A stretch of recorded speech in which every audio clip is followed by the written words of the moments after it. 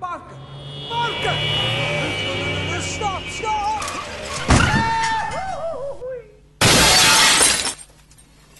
Movies need to have a darker sense of humour. So here we are, Spider-Man 2, and as far as superhero films go, I gotta say this may very well be up there with the likes of The Dark Knight. Because if The Dark Knight is a definitive dark-hearted superhero movie, then Spider-Man 2 is a definitive light-hearted one. Sure, this film has its emotional and hard-hitting scenes, but let's be honest, as good as this movie is, it is incredibly stupid. But that's why I love it so much, because what we're about to take a look at is a film that despite being so goofy, impressed critics across the board, which makes it a refreshing change of pace given how snooty some of them can be these days. And critics didn't just like this movie, they loved it. I mean, take a look at what Roger Ebert said for example. Spider-Man 2 opens next Wednesday, or actually Tuesday at midnight, and I think it may be the best superhero movie I have ever seen. Wow. I mean, this is 2004, so this is before a lot of other great superhero films, but that's still a pretty bold statement to make. Because what he essentially said was that Spider-Man 2 is a better film than Superman the movie and Tim Burton's Batman.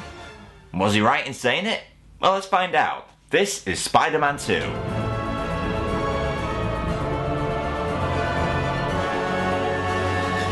Okay, so we meet up with Peter as he's now working a dead-end job delivering pizzas for his impatient boss. And sadly, he narrowly misses him. I know, I know, I love meaningless violence too. Well anyway, Mr. Aziz here threatens to fire him unless he gets his next delivery done on time. This is your last chance. You have to go 42 blocks in seven and one half minutes, or your ass is fired. Go! What's with the way he said that? Go! Go! Go! Go! Go! Okay, this guy's clearly in the wrong business. I'm just imagining him appearing in all manner of racing games. Go! Hey, you guys. No playing in the streets. Yes, Mr. Spider-Man. Am I the only one who's freaked out by those two? Yes, Mr. Spider-Man. Please continue.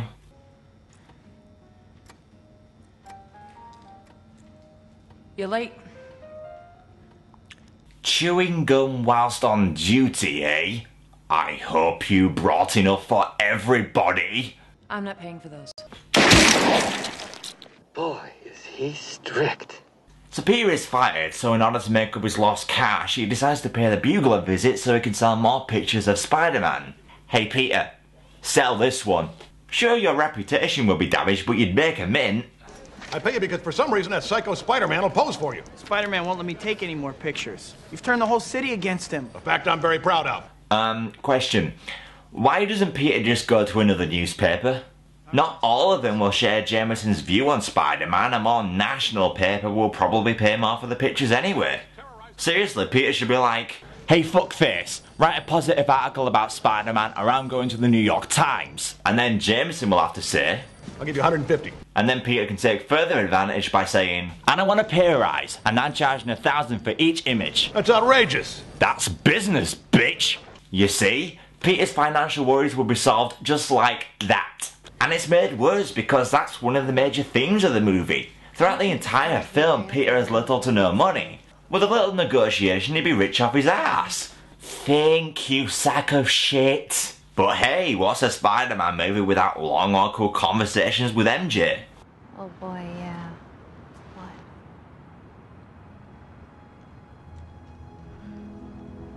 Nothing.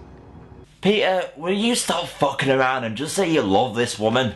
Look, I get it, you don't want to be with her as you believe she'll then be in danger. But she was in danger a grand total of four times in the previous movie, and none of which were attributed to the two of you being in love.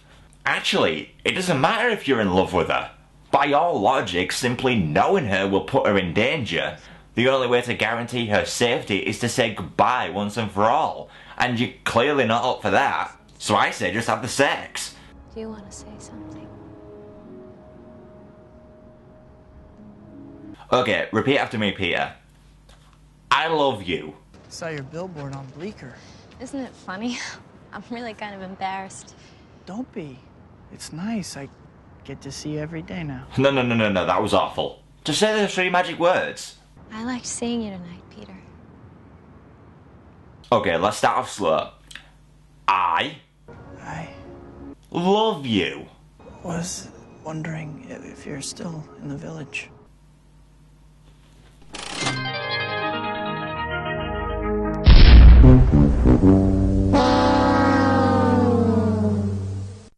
So yeah, Peter acts like a pussy as MJ responds by saying she's now seeing someone else. In other words, she's emotionally blackmailing Peter to make a move on her by treating her new boyfriend as a means to an end. Bitch. So Peter heads home and runs into his rather stereotypical Eastern European landlord. Sorry he doesn't pay the rent. And don't try to sneak past me. I have ears like a cat and eyes like a rodent. Okay, how did that look on his face not turn into some kind of meme? It's too good. It's the face he'll pull for any occasion. Like for his passport photo, or his inevitable Oscar acceptance speech, or his meetup with the fellow leaders of the world. Fellow photoshoppers, I have set you a challenge. So the following day, Harry introduces Peter to Otto Octavius and his wife Rosie. Turns out Harry is funding Otto to run an experiment on fusion. An exponential increase in energy output. A huge amount of energy. Like a perpetual sun providing renewable power for the whole world. Are you sure you could stabilize the fusion reaction?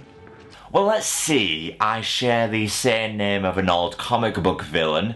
Thermonuclear fusion isn't likely to be perfected for another 17 years, and since I'm happily married, I've got a lot to lose, so. Yeah, nothing to worry about. I'm gonna die. Peter, tell us about yourself. Do you have a girlfriend? Does his right hand count? If you want to get a woman to fall in love with you, feed her poetry. Poetry. Never fails. Tall and slender. Ugh, okay, this is what I don't get about this movie. Peter established he's not gonna date MJ because he's Spider Man. Then why is he still trying to impress her? All he's doing is confusing the hell out of her. Well, okay, she's a bit of a dingbat anyway, considering she hasn't worked out that Peter is actually Spider Man. Hell, she recognizes his kiss at the end of the first movie. And even if she shrugged that off, how does she not recognize his voice? Tobey Maguire has a pretty distinctive one. I've not heard of anyone else who sounds even remotely like him. She's been given so many clues, I actually refuse to believe she doesn't know.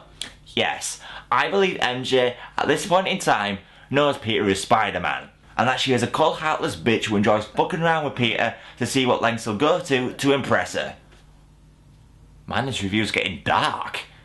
I need something awesome to counterbalance it. Uh, uh, uh, ah, Bruce Campbell. Yeah, I, uh. Come to see the show.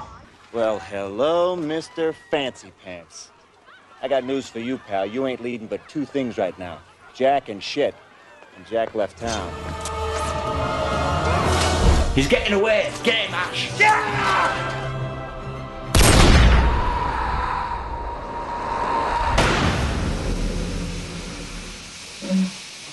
Yeah. So Peter misses MJ's plane, finds out that he can't use his spider web, so he begrudgingly takes the lift. Cool Spidey outfit. Thanks. Look, I've said before, people will recognize your voice. Change it a little or something. Better yet, change your personality completely.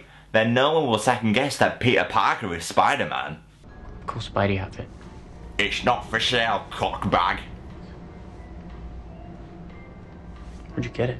From your mama's wardrobe. Hmm. Looks uncomfortable. Did you just fucking look at my junk?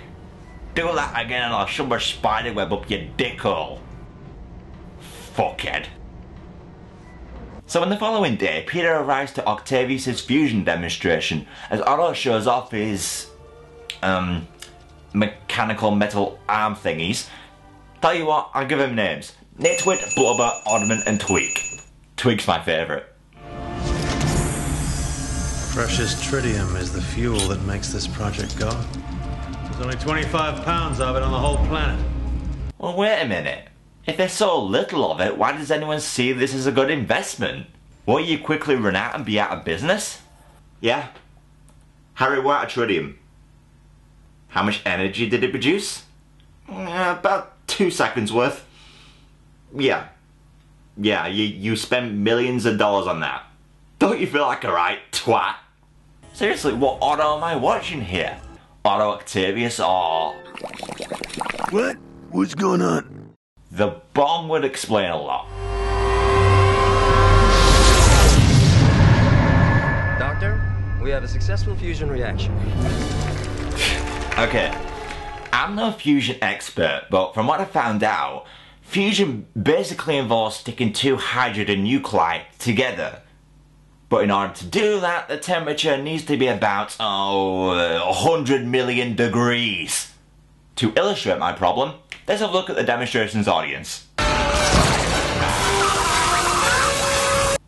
See what I mean? But here's a shock. The experiment goes wrong as the reactor starts attracting all metallic objects towards it, including glass for some reason.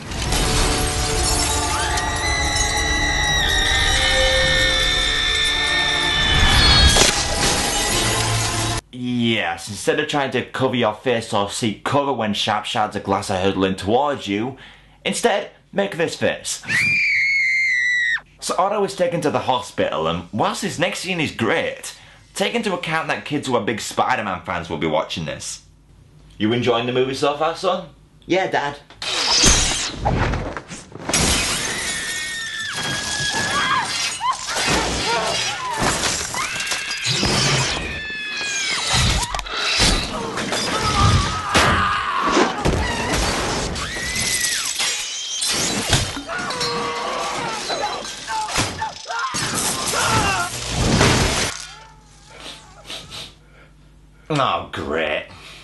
Seriously, you can tell this is Sam Raimi applying what he did so well in the Evil Dead trilogy here. But it feels so out of place in a Spider-Man movie. For a PG, this scene is scary as fuck. The way the arms move so quickly like snakes seeking their prey, the convincing screams of terror from the doctors, the total lack of music which gives the scene a real creepy silent tone. If I watched this at the age of 8 or something, it'd probably give me nightmares. But then again, it's kind of ruined at the end by this.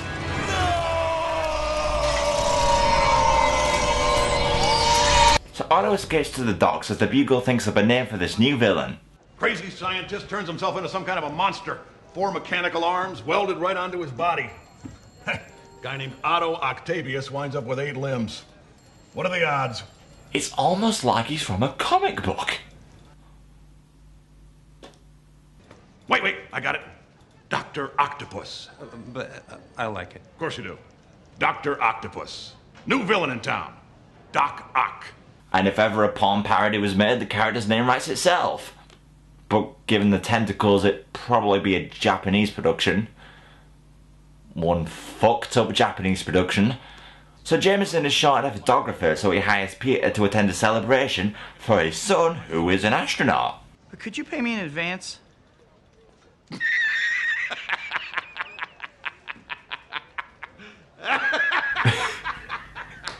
Okay, that's the best laugh I've ever heard.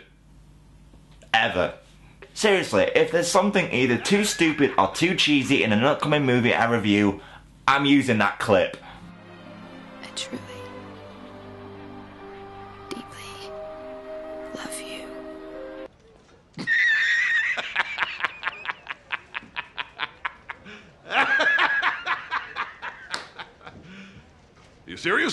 So later that day, Peter and Aunt May go to the bank in hopes of acquiring a loan. It doesn't go well. But out of nowhere, Otto shows up and starts robbing the bank in the most subtle manner he can think of. Put your arms up! All of them! Woo! Look at the distance he got on that one!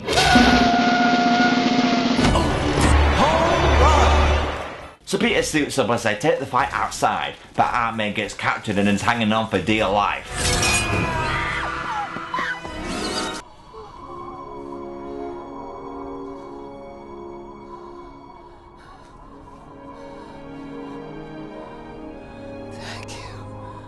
You're welcome.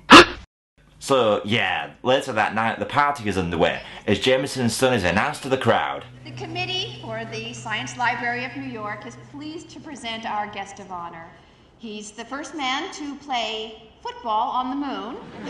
Uh, um, you do realize a man hasn't been on the moon since 1972, right? I don't think any American president would fund a trip there so some guy can play football on it. Well, maybe this guy. Actually, this movie was made when he was in power, so yeah, actually, this one makes a lot of sense. But it turns out the guy that MJ was seeing is his astronaut as he announces their engagement. So Peter goes to her in an attempt to reconcile. He fails. It's too painful. I've been reading poetry lately. Whatever that means. Day by day, he gazed upon her. Day by day, he sighed with passion. Day by day, he remained a virgin. And quite understandably so. By the way, John has seen my show five times. Harry has seen it twice. Aunt May has seen it. My sick mother got out of bed to see it. Even I fucking saw it. What Mr. Moncrieff said. His voice alone inspires one with absolute credulity. Boo! Get your tits out! I was arrested, but I was there for her. So a doctor, who I swear is a hippie by night, judging by his shirt, helps Peter to understand that maybe his time as Spider-Man is up as he continues to lose his powers. And after we see Peter talking to Uncle Ben, how he's able to do that, I've no idea. Peter's like, fuck responsibility and walks merrily down the street to raindrops keep falling on my head. Wait, what? Sleeping on the job, those raindrops are falling on my head. What's with this some cheesy montage? And why this song? And Butch Cassidy much? I mean, okay, this is to accentuate Peter's carefree mood, but this scene is so cheesy because of it. Just go all the way and have Peter sing along himself. Maybe even with his own made up lyrics. Raindrops After dreaming about MJ, I found web on my bed. 0.23 electron volts. Look, there's only one way to finish this scene. Raindrops keep falling on my head. Wait, it's a piano, now you're fucking dead. So, yeah, we cut to Harry still obsessing over Spider Man when he feels an unusual tremor.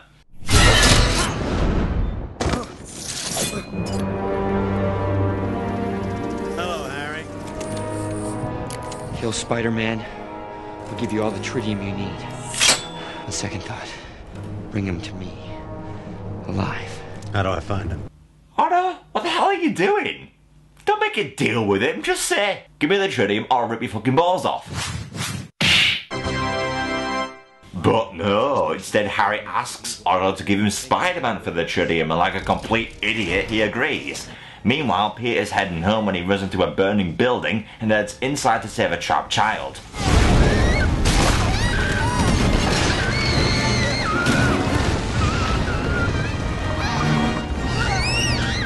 Jesus Christ, man, how hard did you throw that kid? And if that's not bad enough, Spider-Man is actually saved by that same four-year-old girl.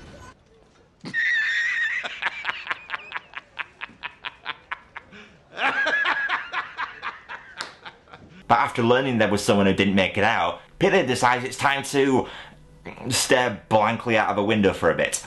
Am I not supposed to have what I want? What am I supposed to do? Well, not talking to yourself would be a good start. Um, would you like a piece of chocolate cake? no, no, no. It's a trick, Peter. It's space cake. I mean, I mean, look at her. She is so on drugs. Look, I'll even prove it to you. Miss, what are you right now? Hi. See? And a, a glass of milk? That would be nice. Peter, I'm betting you it's not from an animal. Okay. So after Little Miss Anorexic clears up, she lets Peter know that Aunt May left a message, and as it turns out, she's saying fuck you to the government and has begun packing. And Henry Jackson across the street is giving me a hand, and I'm giving him five dollars. Five bucks? That's like three quid. Child labour is the future, people. They're gullible and work cheap. Okay. You take Spider Man's pictures, right? I used to. Oh man, if even little kids know Peter took Spider-Man's picture, why hasn't Peter been interrogated by someone yet? You'd think someone would say to themselves, hmm, so this fella has the exact same build as Spider-Man, he's the only man to ever get a clear photograph of Spider-Man, and just so happens to share his exact same voice. Hello? Daily Bugle? I got a shocking revelation as to who your photographer Peter Parker is. He's Spider-Man's twin brother. Hello? You'll never guess who he wants to be. Well, considering who we were just talking about, Spider-Man. you don't say. Well, he knows a hero when he sees one. So Peter decides it's time for Spider-Man to make a comeback as he heads up on a rooftop with a look of determination on his face. Well, it's determination or the shits, I can't be sure. Go on, Peter! You can do it!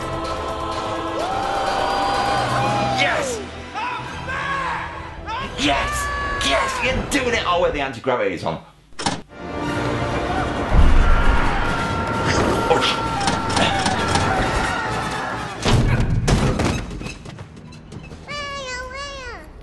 That's right, Boo. You did it. You beat him. Peter? You, you, you okay? I, I, th- I think he's dead. Well, that. No, come on. How can you get up after that? How could you simply walk off where only Wily fucking Coyote could survive? Maybe if you were still Spider-Man I'd buy it, but you're supposed to have no powers at this point. Still funny as hell though. My back. Get back on, fat ass. You have to practice. Screw you guys. Hate you guys. So MJ and Peter meet up in a coffee shop and something odd is going on here. Anyone remember in my Casino Royale review when I pointed out Eva Green's wacky pupils? But that same ego can't take it. That's what this is about. All you're going to do now is lose more. Now look at Kirsten Dunst. I'm saying. I. uh, I thought I could be there for you, Mary Jane. So the pair are about to have a smooch, but Peter's spidey sense kicks in as Otto arrives on the scene.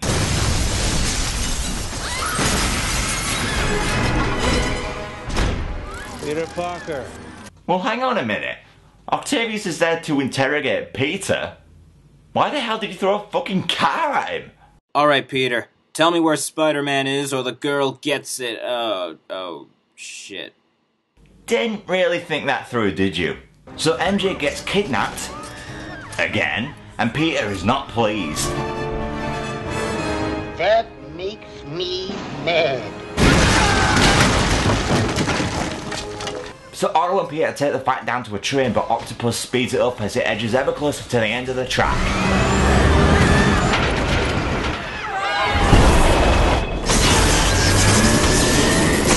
Oh, hang on. The train can go 120 miles per hour? Why would a train in New York City need to go that fast?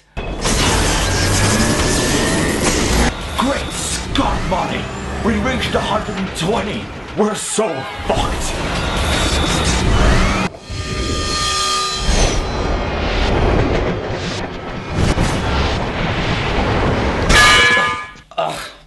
Damn Raimi and his camera work.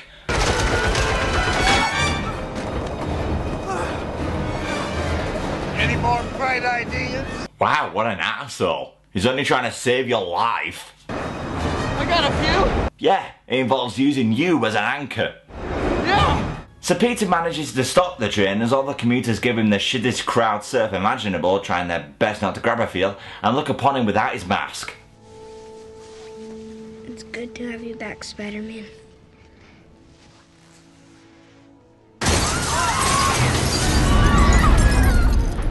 He's mine! You want to get to him, you got to go through me. And me. Me too. Don't forget me, ha!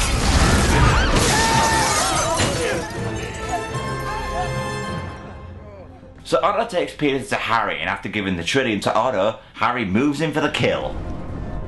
First, we'll see who's behind the mask. I can look into your eyes as you die. Oh, Peter, why did you have to be Spider-Man? I was hoping you were going to be Louis Walsh. That way I could avenge my father's murderer and kill an annoying prick at the same time. Harry. Where is she? Where is he keeping her? Uh, why the hell would Harry know? At what point did Octavius ever tell Harry where his base of operations was? Nobody knew. But check this out. Despite the fact that Harry shouldn't know, they edited it in a way to make it look like he knows. Harry, please, I've got to stop him. And they cut before I can answer. So we as an audience assume Harry told Peter off screen, which in turn covers up the fact that Harry couldn't have possibly known the answer. Bravo, Raimi. You devious bastard. So yeah, Peter arrives at Otto's base, wherever it may be, and Spidey starts to kick some ass.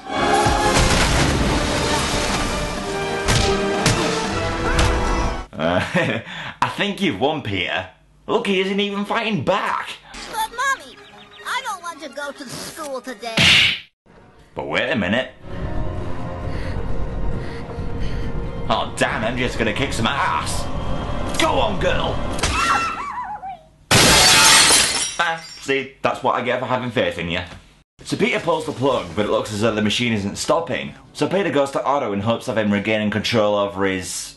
Uh, artificially intelligent tentacles. I won't. You once spoke to me about intelligence. Oh man, he's got a metal claw wrapped around his neck. Don't you think he should sound a little bit more like, You once spoke to me about intelligence, that it was a gift to be used for the good of mankind? On a different subject matter, do you have something for a sore throat? That it was a gift to be used for the good of mankind. A privilege. Uh, go back to earlier. Intelligence is not a privilege, it's a gift. he just totally contradicted himself. Intelligence is not a privilege, it's a gift. A privilege. Make up your mind, man. Is intelligence a gift or a privilege? Whatever it is, you clearly don't have much of it.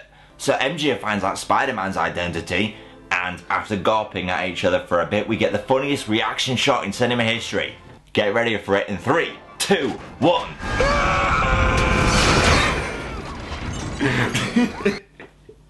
Fuck Fus Ro Dah. That there's the true power of voice. I mean, that's the first Bilbo should have pulled in Fellowship of the Ring.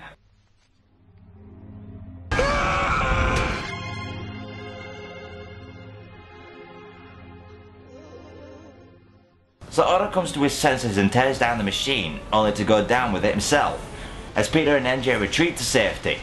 And God only knows what that web is connected to. so, yeah, now that MJ knows Peter is Spider-Man, it should alleviate some tension. Sure, it wasn't what Peter had in mind, but maybe some good can come of this. This is the first chance the two of them can be 100% honest with each other. I mean, it's not as if MJ knew all along or anything. I think I always knew. All this time. Uh. Ash.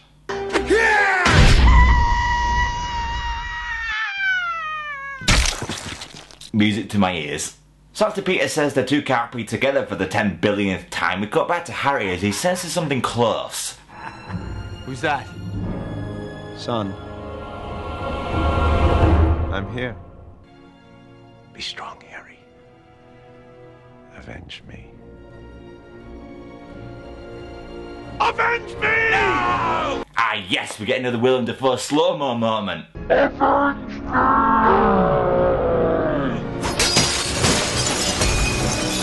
So Harry finds Norman's Green Goblin supplies. Even the formula, which seems odd considering we never saw Norman make another batch, as we cut to MJ's wedding where she plays runaway bride leaving her now not husband stood up at the altar. Oh yeah, no talk with the guy to explain how you felt or that you couldn't go through with it. No, just leave him there. He'll be alright. It's not as if guys have emotions or anything.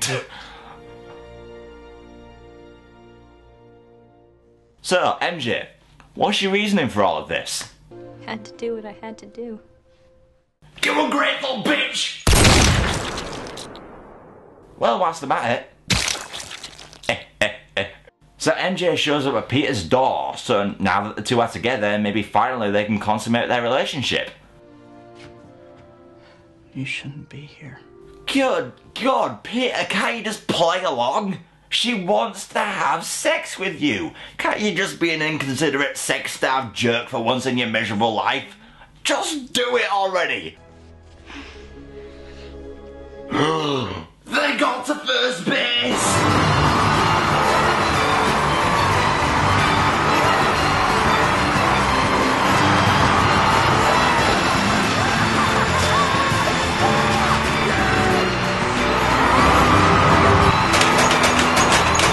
So a siren wails in the background as Peter's off to fight some more bad guys with his lady by his side who'll support him through thick and thin. Though she'll draw the line at eyeliner. The end.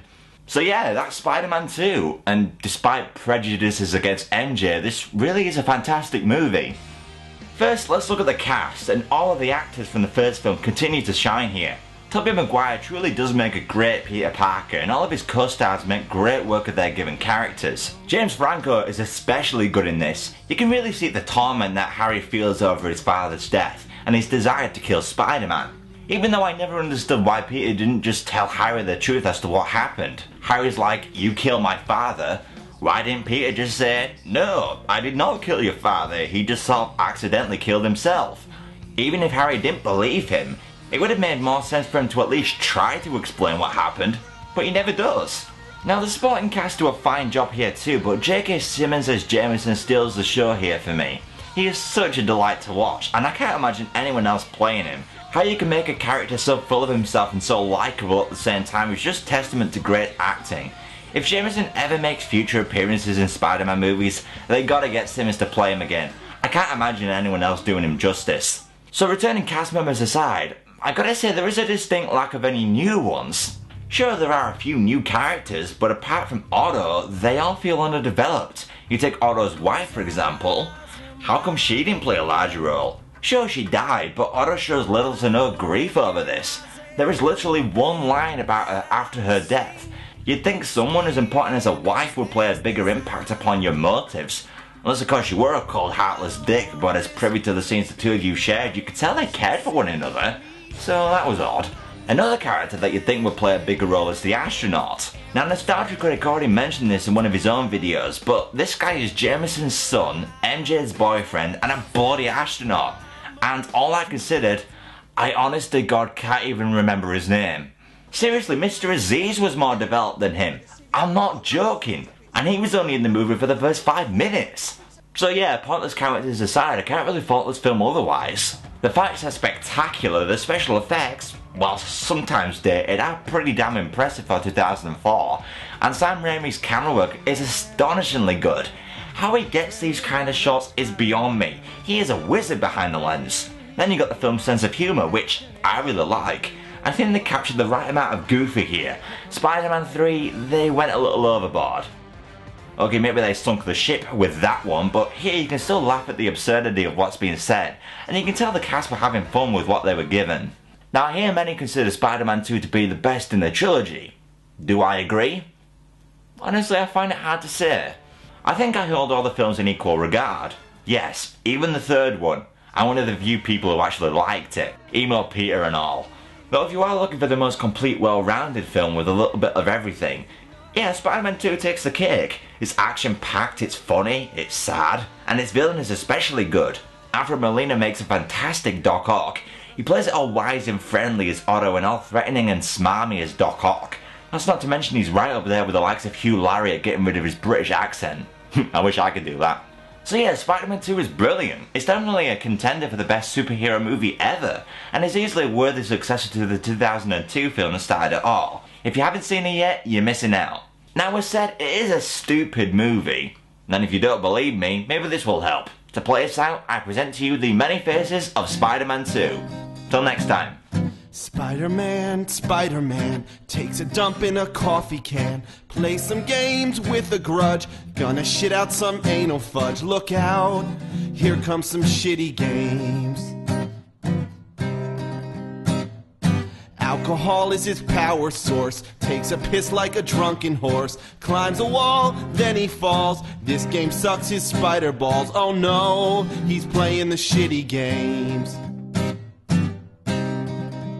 When he plays his games, he feels so ashamed. He shoots web from his wrist, but now Spider Man's fucking pissed.